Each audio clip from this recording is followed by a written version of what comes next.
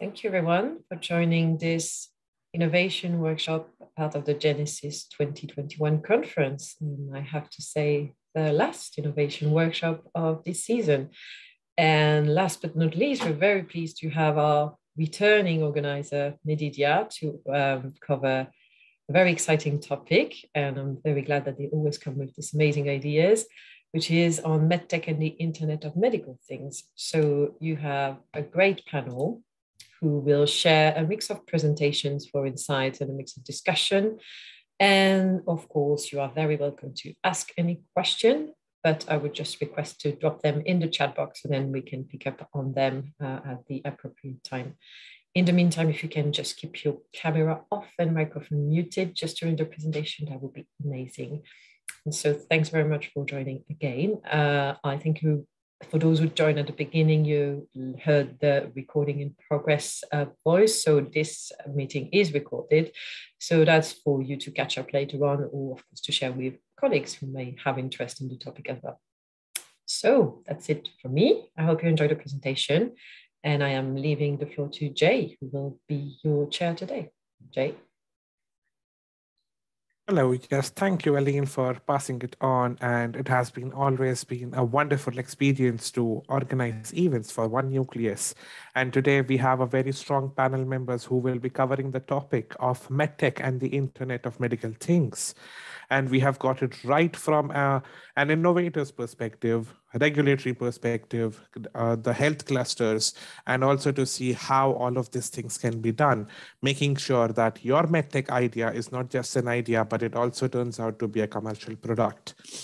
So uh, at first on the panel, we have Brandon, who is a cluster manager with Connected Health and Wellbeing Cluster. Uh, Brandon, could you just wave and give a very short introduction about you and your cluster. Thanks, Jay. So I'm, I'm based in Dundalk, Ireland. It's a new connected health and well-being cluster that aims to bring together industry, academia, uh, enterprise support agencies, and um, most importantly, healthcare providers and um, I suppose, the cross section of industry from technology and healthcare and other areas that are currently, I suppose, moving into the uh, medtech sector. Okay, yes, thanks for the short introduction, Brendan. And next we have on board with us Greer Deal, who is the director at Global Regulatory Services. Hello, Greer, would you please give a very short introduction about you and your company?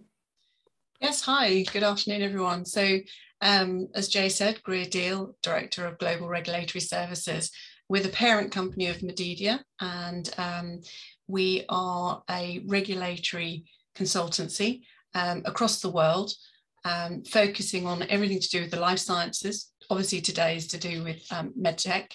Um, and Jay quite often likes to refer to you know we're the equivalent of when people say we want to google something we would like to be your regulatory google in everything to do with regulations and quality compliance so we have a network of um, specialists all around the world who can provide the expertise that you need when it comes to regulatory and quality compliance Yes, that's very well said. And thank you, Greer, for adding the regulatory Google part to it. Well, I guess that's a new word that's coming up into the market and the industry. Yes, so thank you so much, Greer. And now I will be moving on to introducing the next panel member, which is David Didsbury, who is an ALAMD expert, which is artificial learning, uh, artificial intelligence, and machine learning expert from Didsbury MedDev Limited. Hello, David. Would you like to introduce yourself and your company? Um, hi, I'm a um, regulatory and quality uh, device guru, and I specialize in helping small to medium sized companies um, do do anything to do with regulatory regulatory and quality. So that's from 13485 right through to um, talking about software and getting mobile software products delivered to the market. Um, Didsbury MedDev has been in existence since 2015, and uh, recently um, my small company has expanded to include the next uh, uh, to include Paul Butcher, my cybersecurity expert, because with the with the changes in the FDA and changes in the MDR, having a cybersecurity arm will make a big difference to to the growth of my company moving forward. And that's me. Thank you. That's very interesting, and congratulations on the expansion. And uh, and thank you for also mentioning Paul. So next coming up is our cybersecurity expert for this session, which is Paul Butcher from uh, Didsbury MedDev, and he would introduce himself and the company in a very short brief. Hi, uh, yeah, I'm Paul, and uh, yes, I'm the cybersecurity arm today's company. Um, my background really is is always been in computer architecture for, for many years. Uh, so I've designed a lot of systems and I've also done a lot of security work within engineering and lately in the financial sector. So I'm used to working with banks and finance and data warehousing. So they are very keen on keeping their data secure, I can assure you. So that's really where I'm coming from. So I hope the presentation is, is of use to you anyway in the future. Thank you so much, Paul. And last but not the least, and who is going to be the first presenter for the day is Eva, who is the International Business Development Director from Elsad Medical. Hello, Eva. Would you like to introduce yourself and your company? And then I would request you to give your journey into the innovation process, and we will move on with your presentation from there. Thank you, Jay. And as said, that the, I'm Eva Laiku, and I'm representing a digital health company, a digital health startup called Asset Medical. Asset actually stands for Automated Lifestyle Advice, which actually introduces a little bit what we are we are doing. We are a small technology company uh, supporting uh, health uh, service providers and patients in chronic condition management. And although we were approaching from the uh, technology angle, we were supported by research teams, uh, local university teams, and the uh, people with a strong medical and nutritional background to build that software, which we think that the, uh, could be important uh, in the future and supports digital transformation in healthcare. So I wonder if, Jay, would you help me with the slides, I think? Thank you. So our mission is actually to support people with chronic kidney disease and diabetes or who face the risk to develop these conditions in the near future. And our approach is that the digital transformation doesn't just digitalize whatever process you already have in place, or doesn't just uh, trying to make your actual treatment digital or transform data digital, but also provides better service or just the uh, correcting and adding services which were previously uh, not possible. So that's why we said that it's personalized and, and, and digital and data driven. And yeah, next slide, please. Thank you. because this is, uh, this is how our story started. So our sto story started after long discussions with health providers uh, to whom our team members provided technology support from the very early stages of digital transformation. So we installed service first, and then we started to provide things like basic software and then patient management software, uh, patient data development software. Sorry, that's a little bit too quick. uh, and then we learned that these non-communicable diseases are a big burden for the individual as well as the health system around the world. So kidney treatment required about one and five billion pounds of the NHS budget alone in 2020 and treatment includes a restricted diet and complex medication. And as the condition advances, patient needed expensive and time-consuming dialysis treatment or kidney transplant. So next slide, please. Because main reasons behind chronic kidney disease are uncontrolled diabetes, obesity, cardiovascular problems, often caused by unhealthy diet and lifestyle. Unfortunately, COVID infection can also cause kidney failure.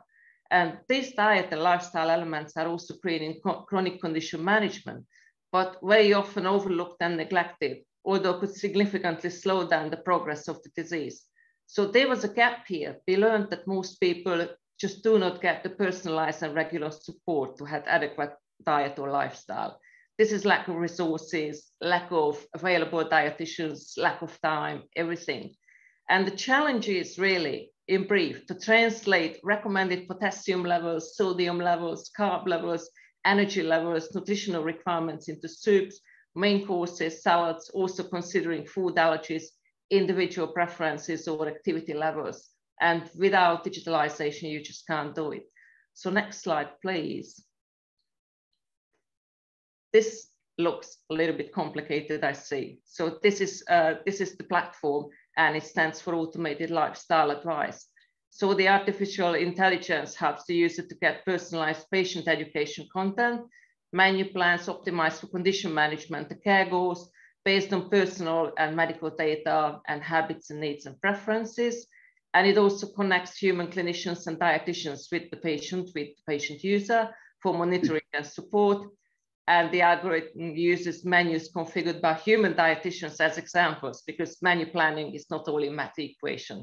You normally don't have, say, X with jam, so just don't trust the algorithm without the human support to create something like that. Condition monitoring was made easier if the user connect the personal health or activity device such as Fitbit, smart scales, pulse oximeters, smart blood glucose meters, because now these are widely available and used but their data is really shared with any clinician. So the features eh, include fully auto-generated menu plans, content finds the user, content recommendation system for patient education, or the uh, specific support for patients with multiple conditions. And also we are here to help to, uh, to uh, automate time-consuming uh, tasks of dietitians like nutritional calculations, menu configurations or patient data analysis. So next slide, please. Yeah, this is just the patient journey. Uh, once the patient connects to the system and the dietitian connects to the system. So this is a platform connecting the professionals uh, with their patients. And the patient after enters personal data and preferences, after informed consent, uh, this data can be shared with dietitian to set initial goals, track progress, condition, and in addition, has professionals can add content like patient education information, recipes and menus. You can actually assign a menu or a specific piece of content to a particular patient. So next slide, please. And this slide just illustrates the three main pillars. One is dietary support, one is tracking and analyzing data, and the third one is personalized patient education. So most of the users having a condition actually have more than one chronic condition, but they still prefer to use one application to manage them all. So digital health should also be beneficial for the health professionals. And also it should automate tasks, give access to important patient data and enable integration with other subsystems within the healthcare system. So it should connect to personal health records. It should connect to diagnostic or patient management systems. Otherwise, it's just all little different islands and it actually requires more time rather than less time. So next slide, please. I think this image really speaks for itself. They are all the uh, groups of main stakeholders who could benefit from digital tools, not only ours, but uh, similar tools uh, managing chronic conditions. Next slide, please. So this is the traction, what happened so far. So after the initial software platform was developed, we launched our first pilots, added some initial content and started to commercialize first in our local market, Hungary, and then in the UK, we were supported by Sheffield Hallam University as they ran an accelerator program for local and international startups. And by November, we create our mobile interface for patients with some new features like QR code read for various food products and we also completed our first regulatory assessment because MDR just came into force and we just finished the MVP. So COVID made digital transformation as a must have and accelerated adoption of digital health products. It's still a long journey, I think, with long uh, stakeholder education, clinical evaluation processes, continuous development and assessment on the basis of feedback and initial experience. So next slide, please because it might be relevant to talk about regulatory challenges. So applications like ours can be considered as something like a borderline product. So it can be used for prevention or managing lifestyle aspects to keep the condition at bay. But also, as it also has features which can be utilized when the condition is more advanced, so say in a real clinical environment. And in this case, diet or lifestyle control is actually part of the official treatment and it's part of the NICE standards and clinical standards and recommendations. So the intended use and risk level can have an impact on the definition if our product is, is actually a medical device. And we process individual health data, so we also must comply with privacy and security related regulatory requirements, GDPR and uh, cybersecurity, which later will be discussed. And sometimes you really need to dig, deep and be considerate when creating a regulatory strategy for different markets as they have different regulation and regulatory status can also determine if you can access certain market. One example is actually German DiGA, which is app for prescription, but this is only uh, for software which is categorized as a medical device. So as you see, there is a definite demand for a wide range of digital health products, but there are several challenges and problems to be solved before full adoption. And thank you very much. Oh, well, thank you so much, Eva. It was really interesting to look what your platform is offering. And I'm sure this entire journey would have been a good of a roller coaster ride for you and your entire team. And yes, you did mention about the challenges with regulatory, with AI, especially and ML coming into the picture. And thank you once again for giving us a brief introduction and helping out understand more how your product was developed and the innovation process worked out for you. And now I would like to move on to our next speaker.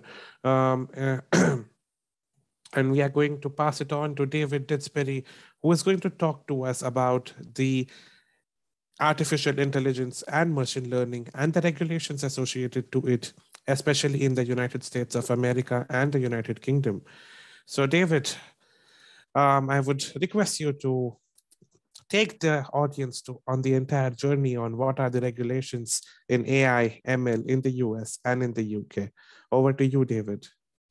Okay, yeah. Thank you very much, Jay, for your in your introduction. Um, could you by any chance put my first slide up? Brilliant. Okay. And I'm going to say, next slide, please. Okay, um, I'm going to leave the audience to read the slides while I talk around them.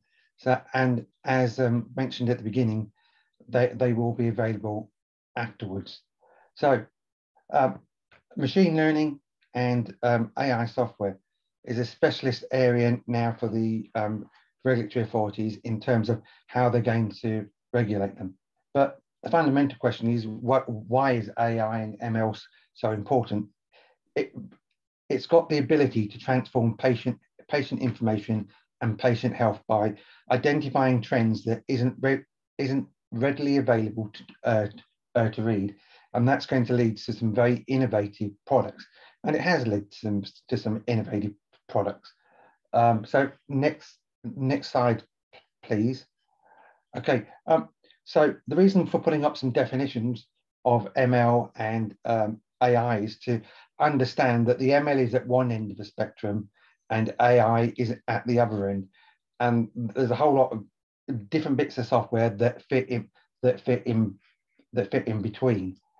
Uh, right. So um, machine learning, right, is in, is important to understand because that's where in your development environment you um, you control you control data sets and you control how much it the algorithms learn. Um, artificial intelligence, on the other hand, you've done some in-house testing, you know its performance, and then hopefully you you know how it's going to develop in the real world when you release it. So there's less control over artificial intelligence. Um, next slide, please, Jade. Okay, so this is presenting a wide challenge to regulatory authorities. So we'll we will start to look by seeing how the FDA are looking at AL and MI. They've spent a lot of time over the last couple of years uh, trying to figure out a way forward because the typical route for a medical device product is you know its form, you know its function, and you know its claims, and it's never going to change. But that's not true with AI or AI products in particular. ML products maybe because you might you might have put a degree of change in. So and the standard regulatory models around the world don't like devices that continually change in the field. So it's presenting a challenge. So the FDA started a couple of years ago by coming up with a pre-cert a pre-cert program, right? And that was where they were looking at the design and development environment of, of a number of companies right, to see if the culture was correct and how, how they designed the, the products so they could approve the quality control side, right, and then look at the, you know, the functionality during their 510K. Um, they also published a, um, a clinical evaluation guidance document about how software as a medical device can be uh, can be approved because again it's a challenge to the normal you know clinical evaluation process so it's not like um, meddev 2.7.1 rev 4 there's a different they're, they're taking a different approach and hopefully i'll get get a chance at the end towards the end of this presentation to say that uh, next slide please jay okay so the fda have come up with, with, something called a total product lifecycle approach to to uh, to software to AI and ML software in particular. Right, the existing method doesn't quite work. So as you can see from the diagram on the chart, that the um, so they're looking at data selection management, module training, etc. Right, so they're looking at the culture and quality of the organization. And then and then they're going to look at pre-market assurance and safety, safety and effectiveness. So that is how is your product going to perform when it's out in the, the field? What have you actually built into the product and how do you know it and how do you know it's going to change? Um, and that safely flows flows into point three, which is the review of the SMD, the pre-specification and algorithm change program, which I'll talk about in slightly more detail on the next slide. Right, okay, and the last point on that slide, okay, I realize I slipped the word next slide in without meaning it.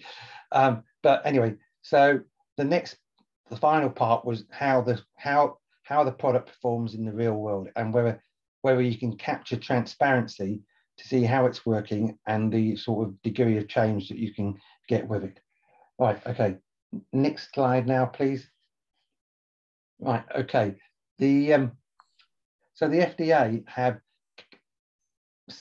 come out in the last, I think it was about a year and a half ago, with something called a predetermined control plan, and that plan consists of um, algorithm change protocol. So this is where during your design process, you sit down and work out how how the protocol, how your algorithm is going to change if you release it into the market.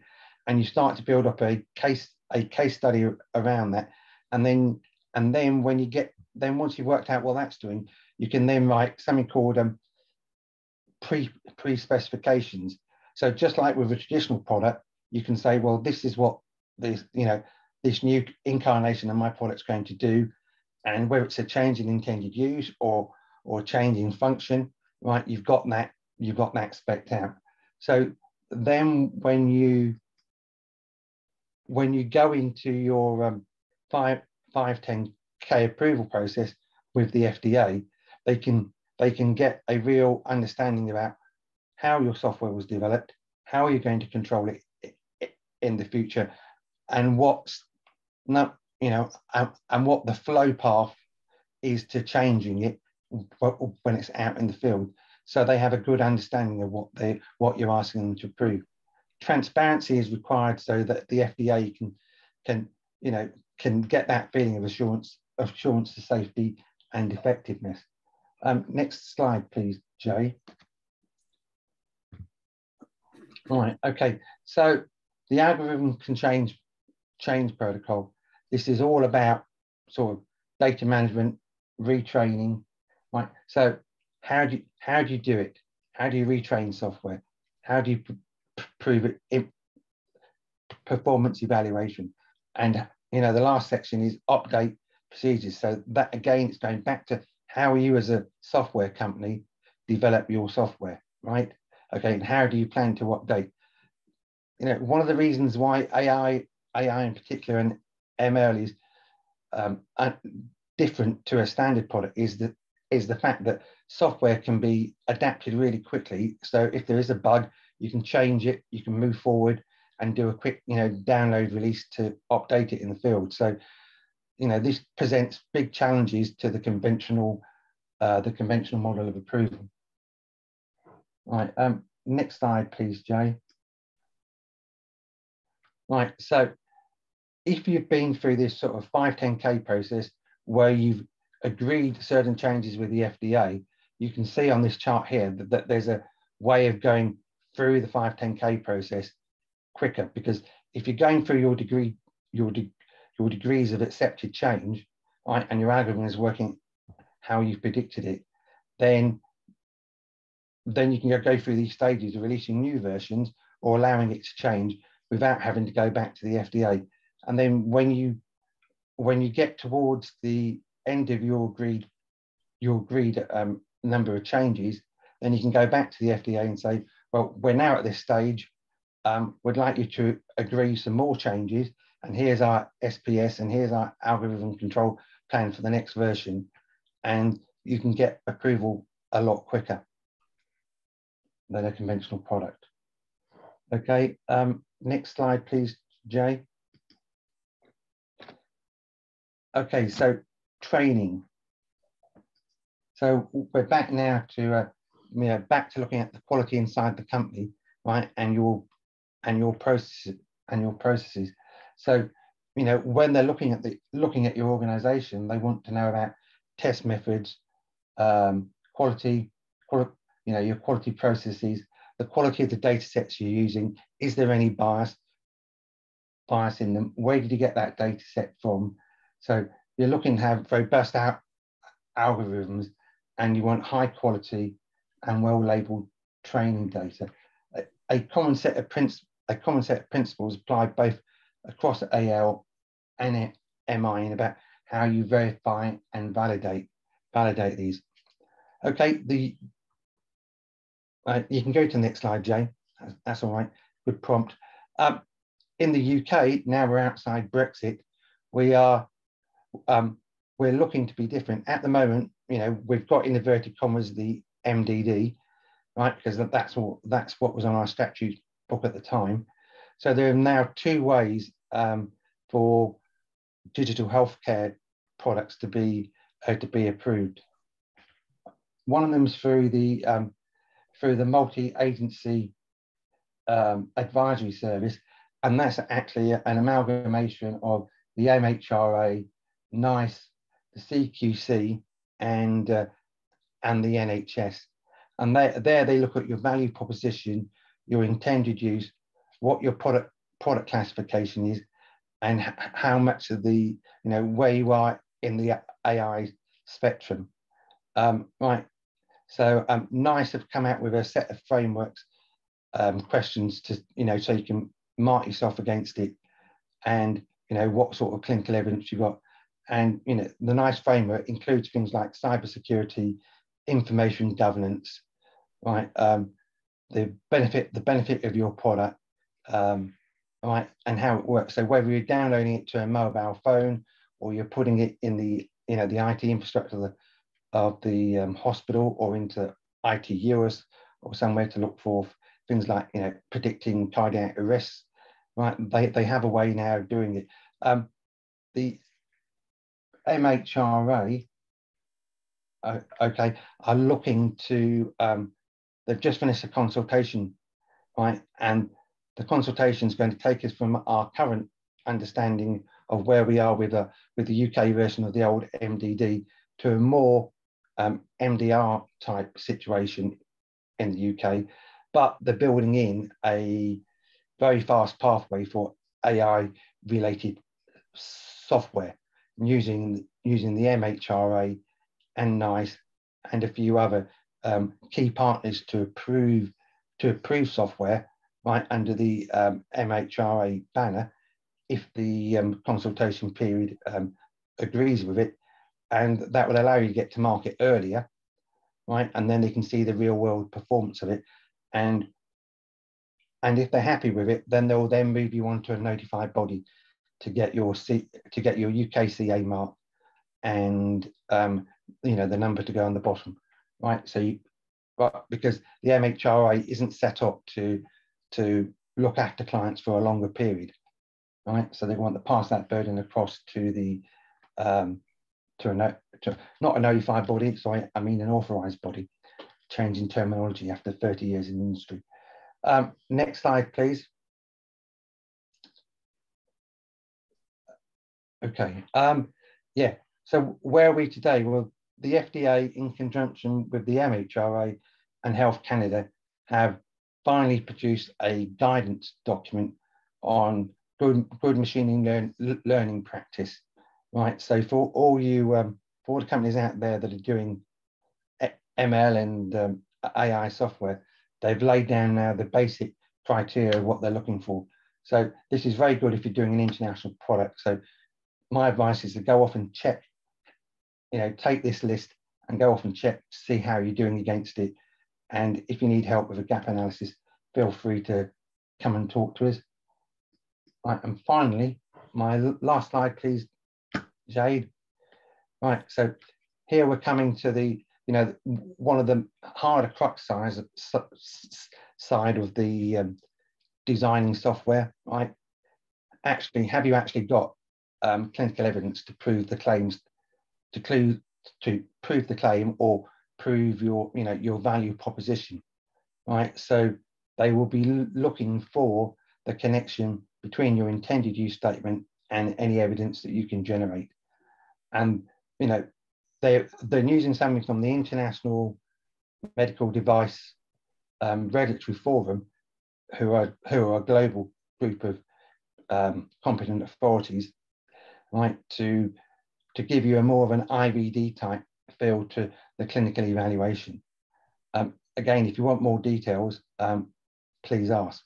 Um, and finally, you know, both the FDA and um, the MHRA and the EU people, you know, expect software manufacturers to have established high, you know, good quality systems gearing to delivering and developing and maintaining high quality products throughout their life cycle.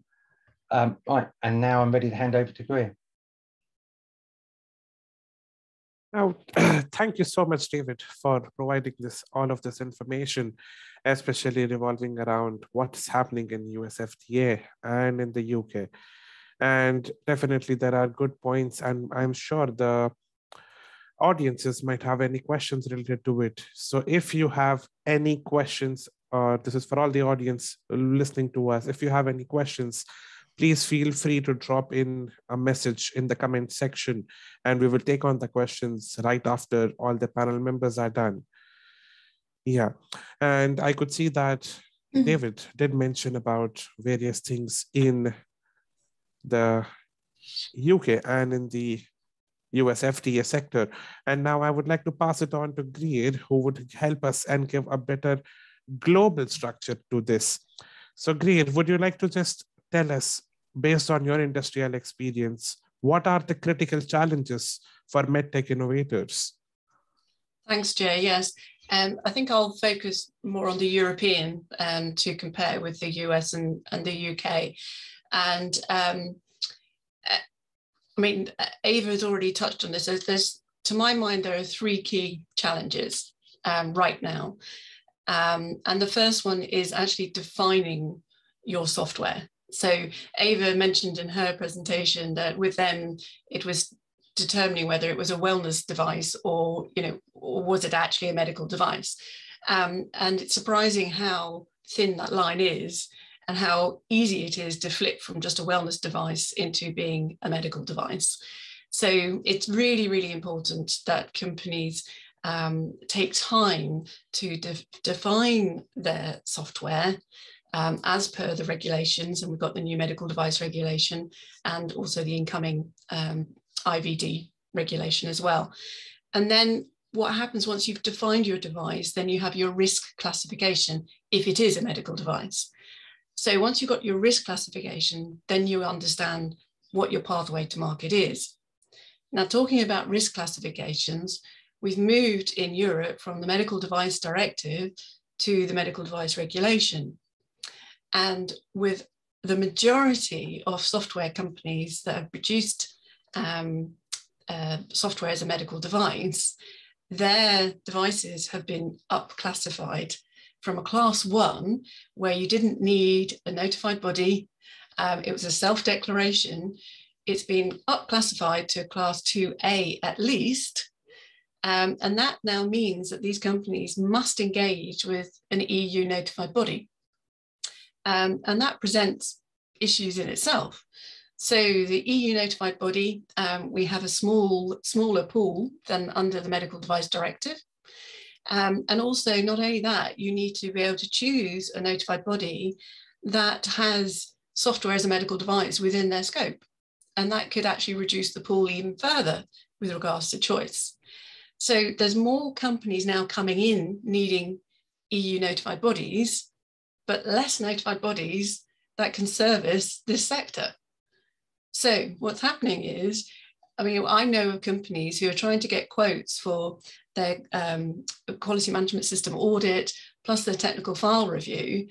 Um, and it's taking anywhere between three and nine months just to get a quote, which is crazy. So if you're if you're looking to try and engage someone now, um, then good luck. Um, and obviously we will do our utmost to help you in finding someone who who will engage with you and take you on as a new client. But if you're thinking, oh, I can leave that till later, don't you've got to get going now. You've got to get into those discussions with these notified bodies. Otherwise, you're going to be in a very, very long queue. Uh, especially when you've got IVDR coming through as well, and more diagnostic companies are going to need to engage with a, an EU notified body.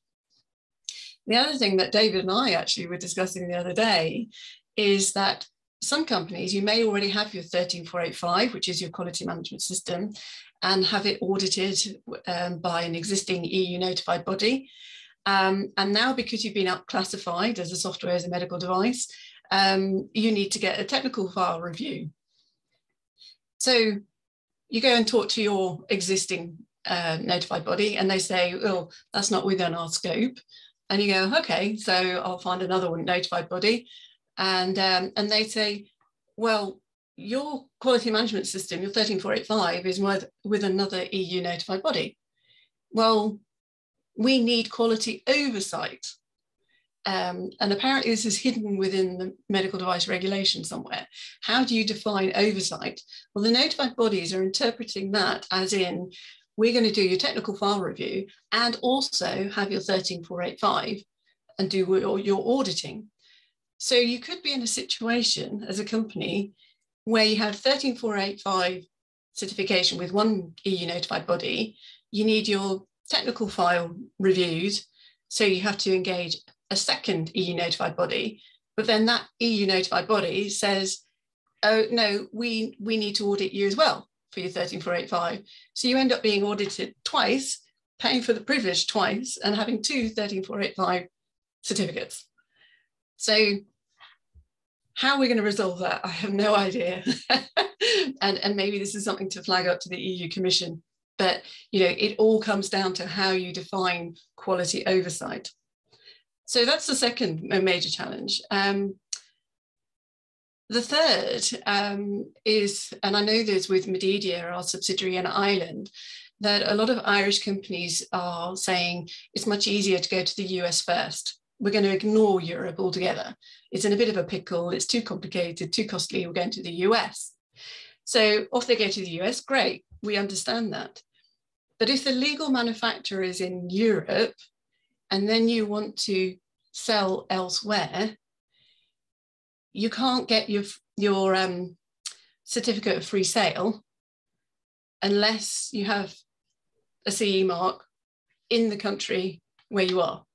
So if you're if you're the legal manufacturer in Ireland, for example, and you're only selling into the US, you haven't got a CE mark, but then you want to sell, well, maybe into the UK, even now that the UK or Great Britain is outside of Europe, you actually need to get your CE mark in Europe because that's where you're based in order to get your certificate of free sale to be able to sell into Great Britain maybe that's not such a good uh, um, example, but maybe somewhere like Australia, somewhere like that. So that's another challenge. So so great, go to off, go off to um, America, but actually you may still need your CE mark in order to enter other new markets. So those are the key three challenges that I see at the moment.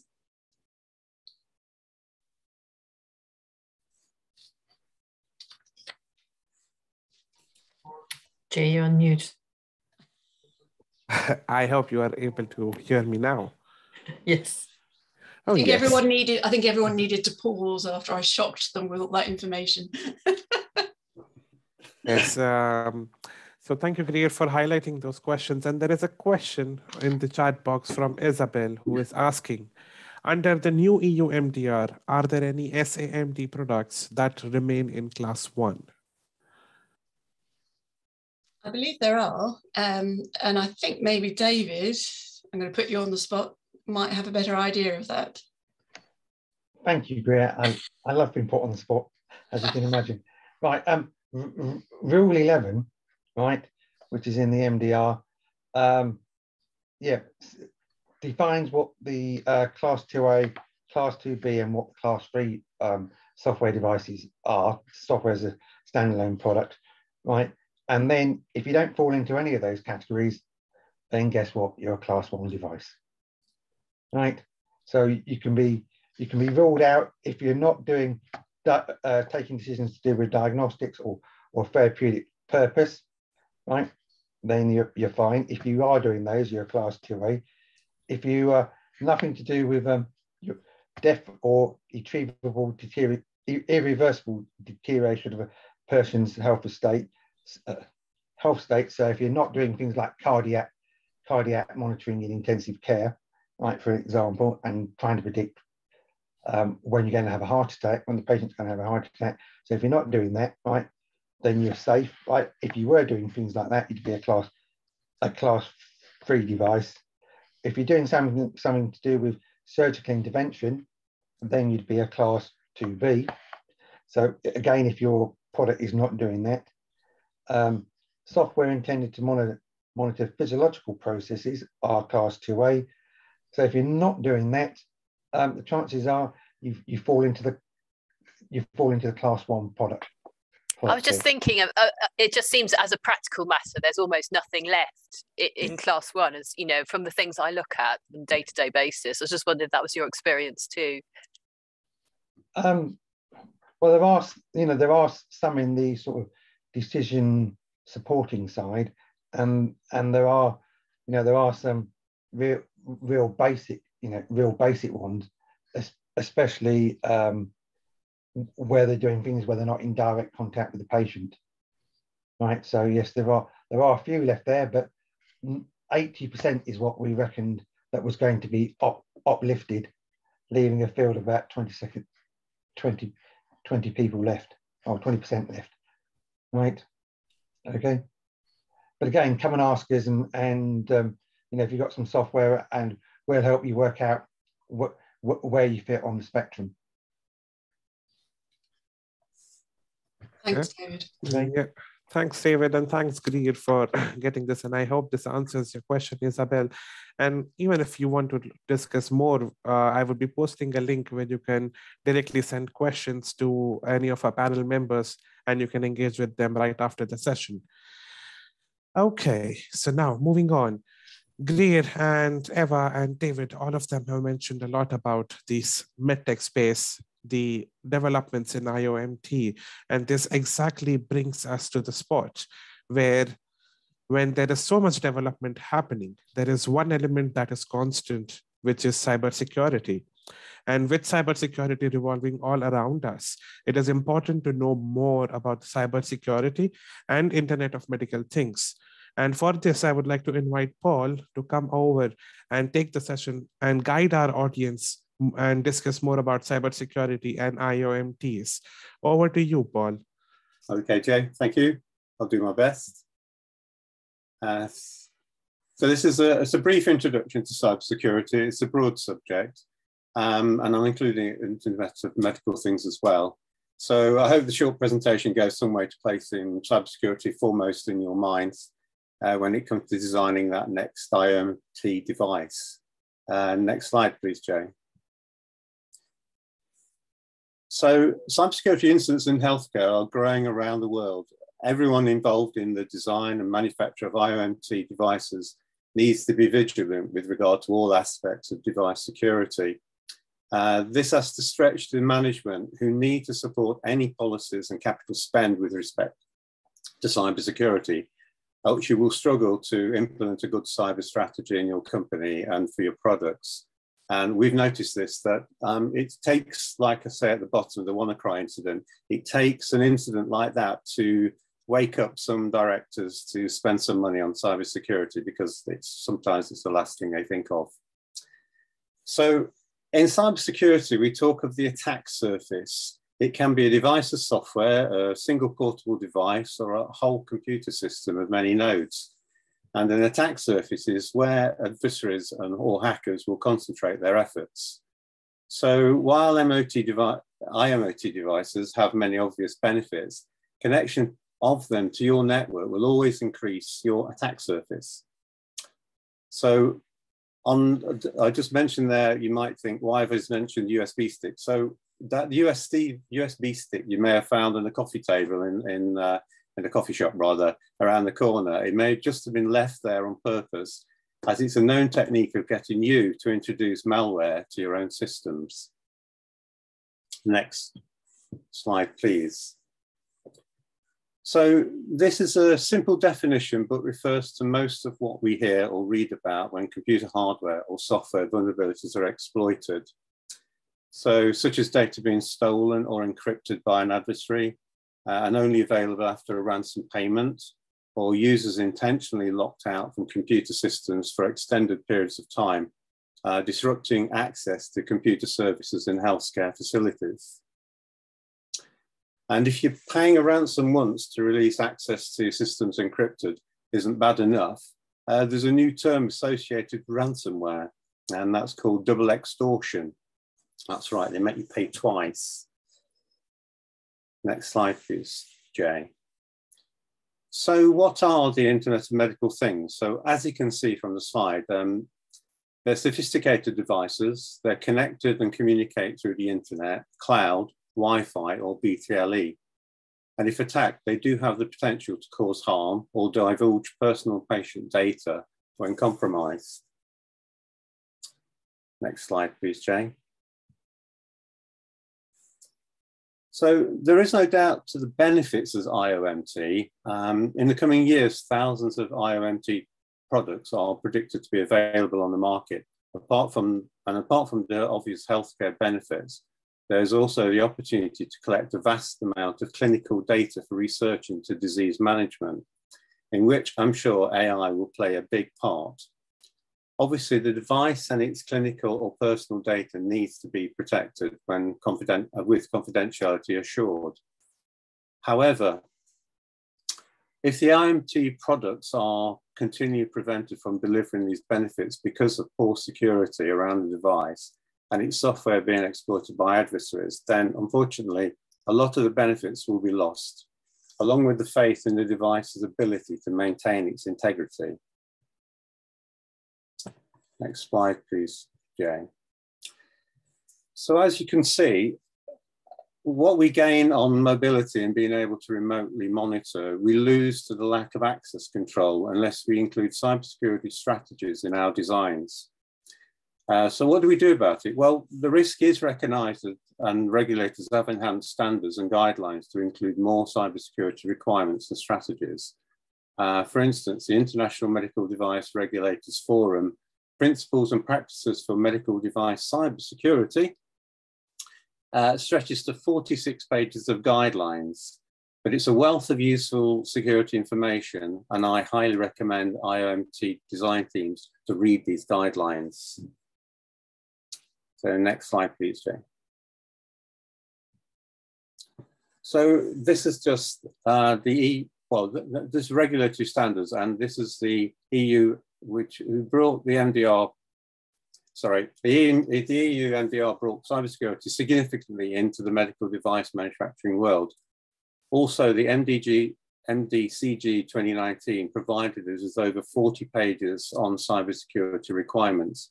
So as you can see, there's a lot of guidelines and a lot of a lot of standards to read for, for everybody.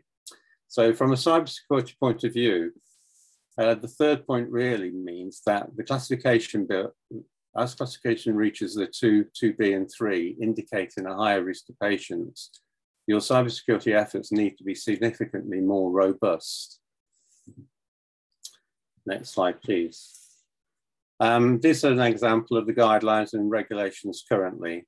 Um, achieving compliance to the latest EU regulations with regard to cybersecurity is unlikely to be obtained unless you utilize and observe the recommended standards and guidelines. There are a number of new cybersecurity standards and guidances as shown, and many may overlap. And it's not uncommon for manufacturers new to cybersecurity to seek help and understanding which they need to be compliant to. Next slide, please, Jay. So from the IMDRF, I'd like to note these two sections, and that's the first is 4.2, total product life cycle. To effectively manage the dynamic nature of the cybersecurity risk management should be applied throughout the total product life cycle, where cybersecurity risk is evaluated and mitigated in the various phases of the TPLC, included but not limited to design, manufacturing, testing, and post-market monitoring activities. So that's the 4.2 section. 4.3 is shared responsibility. And I'm quoting from the, the document here, is the medical device cybersecurity is a shared responsibility between stakeholders including the manufacturer, healthcare provider, users, regulator, and vulnerability finder. All stakeholders must understand their responsibilities and work closely with other stakeholders to continuously monitor, access, mitigate, communicate, and respond to a potential cybersecurity risk and threats throughout the life cycle of the device. So that's really showing that everybody has really got to work together uh, with regard to this. Next slide, please, Jay. So why invest in cybersecurity? Uh, well, sophisticated attacks mean you have to be more proactive about cybersecurity and you cannot rely on the basic level security tools anymore. So we talk of, they used to talk of perimeter security, that is just not good enough anymore. And so you've got to introduce a lot more controls, but also education. And for instance, you know, do you conduct cybersecurity education uh, of all the staff on a regular basis?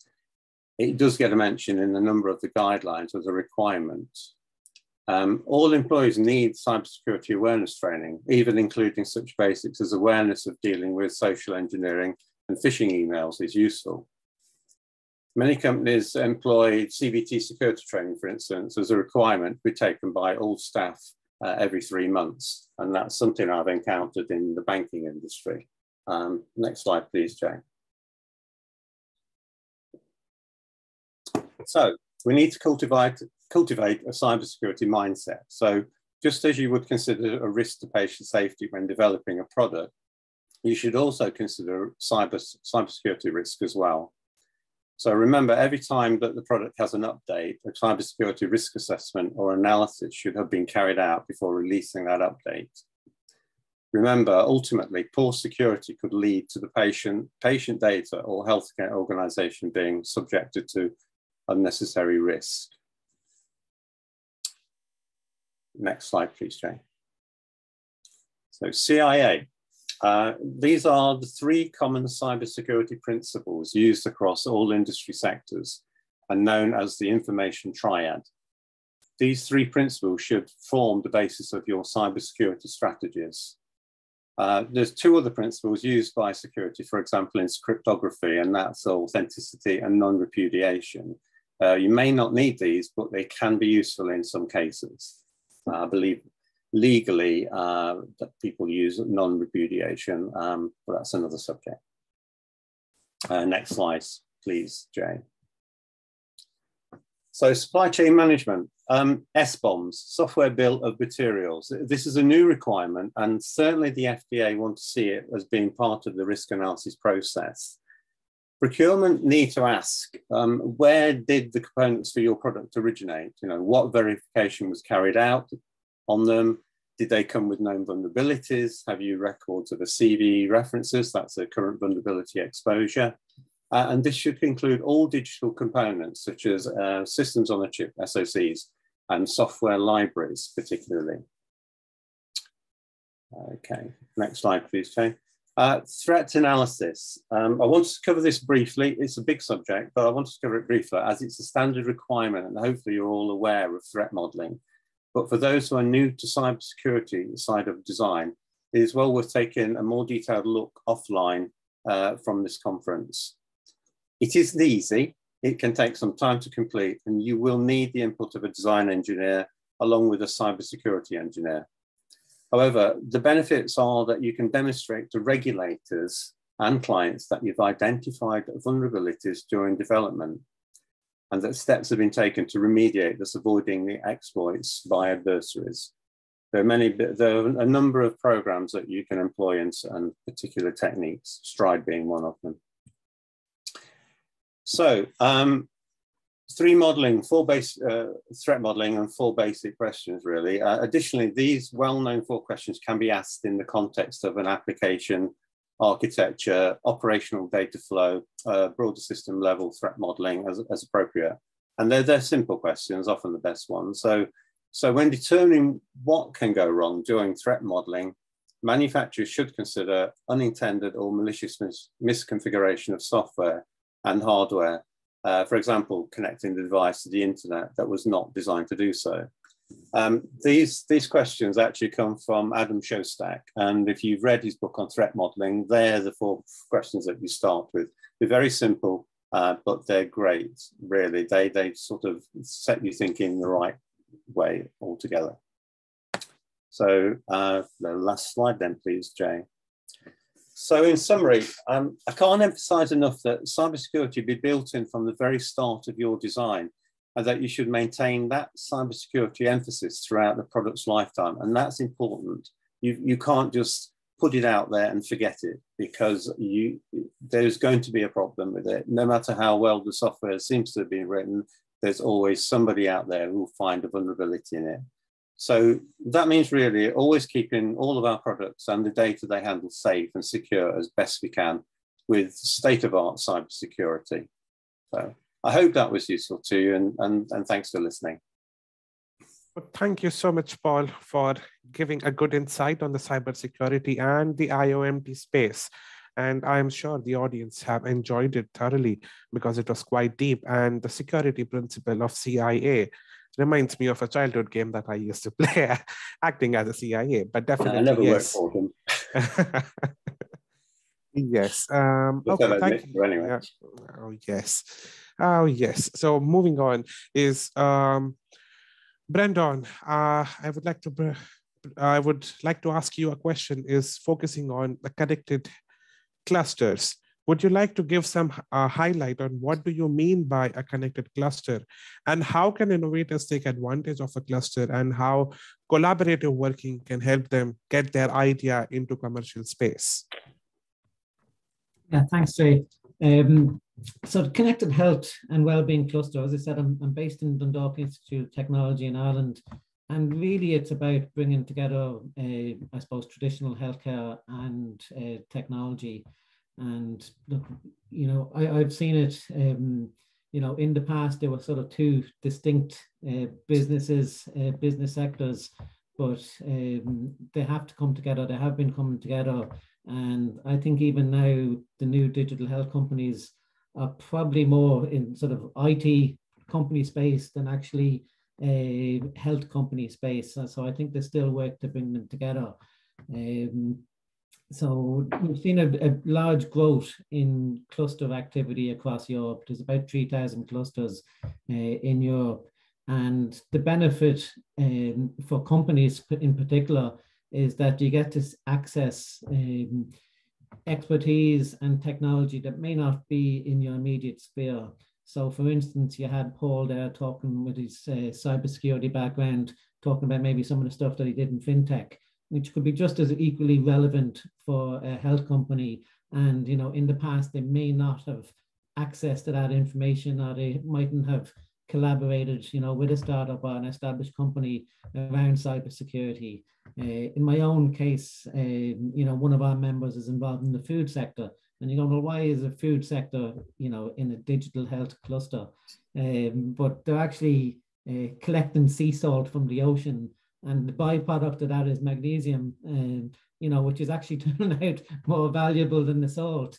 Uh, you know, and you know they spent a lot of money doing R and D on magnesium, uh, where they probably could have actually shared that research and development with a, a company outside of the food sector. So the notion of co-opetition, where you have companies uh, or organizations coming together uh, to collaborate, and some levels they'll be competing, Jay, but in other, other levels they'll be able to support each other. And it could be on market development, it could be on research and development, uh, it could be on joint strategies, it could be something as simple as joint training.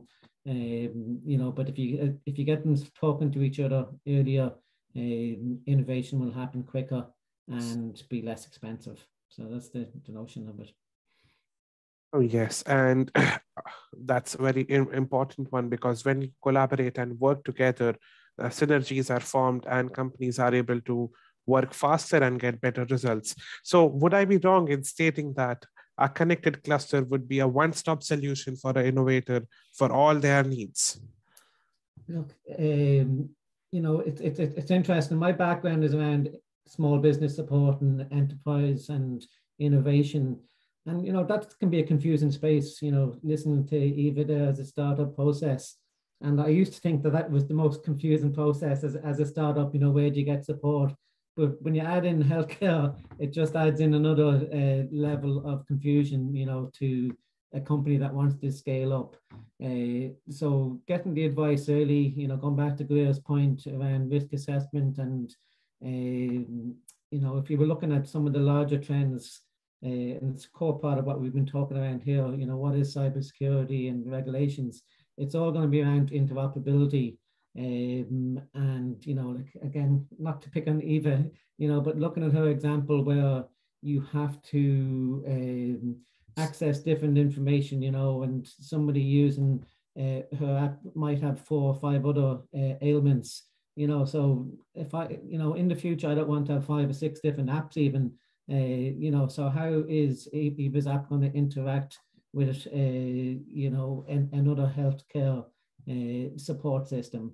Uh, because look, there's apps coming out all the time, and there's other, you know, digital therapeutics, and there's other uh, digital health solutions uh, but at the moment, they're not, uh, now it's just because we're called connected health, but at the moment, they're not really connecting with each other. And that interoperability uh, is, is a huge issue, uh, you know, globally. And so. Okay, well, wishing you luck whenever things get connected with the cluster. Yes, there would be more things coming in. And well, for thank you for giving a good amount of introduction and the importance of a cluster and how uh, companies together can form synergies and I want to say one yeah. final thing on that, uh, Jay, yeah. just with, because it's clusters, we're, we're seeing a lot of clusters and, you know, this is a London based. So for instance, uh, you know, I've had quite a few meetings with the uh, North Tech, uh, the health tech cluster in the Northwest.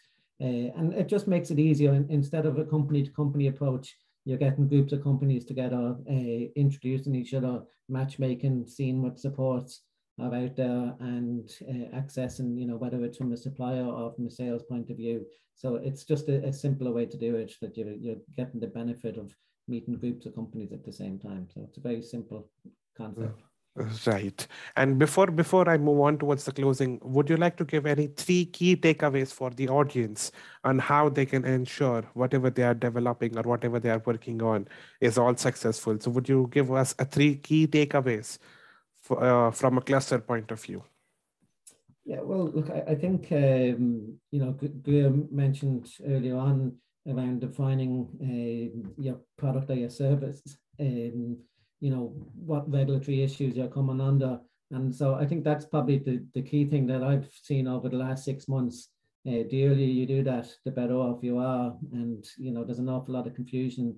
Uh, and Greer was right around, for example, Irish companies targeting the US but it's just a, it's a more expensive process when they have to come back um, and look at it at that side. Um, I, I think um, you know how you collaborate with people as well is is is is, is going to be uh, really important uh, from that interoperability and going back into Paul's point and supply chain management. You know that you it, it goes down to you only as you know the weakest link out there Um, and you're going to see that from the HSE. Uh, in particular, you're also going to see it around uh, sustainable healthcare in the future as well. Uh, so it won't just be security; they'll be checking, you know, what sort of uh, sustainability uh, from an environmental perspective uh, your co-suppliers have in there as well. Um, and I'm trying to think, uh, you put me on the spot there, Jay, so I think I might leave it at that uh, in interest of time as well.